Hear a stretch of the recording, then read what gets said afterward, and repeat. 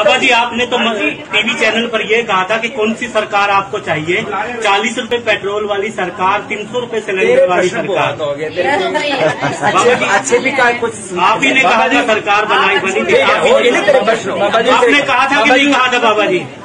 मैंने कहा था पूछ पड़ेगा मेरी। हाँ। बाबा जी आपकी कंपनी पतंजलि बाबा जी आपकी कंपनी पतंजलि ऐसे जाता ना आदमी को ना बाबा जी आप ही ने कहा था। अरे आदमी को मैं कह रहा भाई ऐसे प्रश्न मत पूछो। बाबा जी- मैं तेरे प्रश्नों का उत्तर देने के लिए कोई ठेकेदार ठेकेदार है तू जो भी पूछा मैं उसका उत्तर दूँ।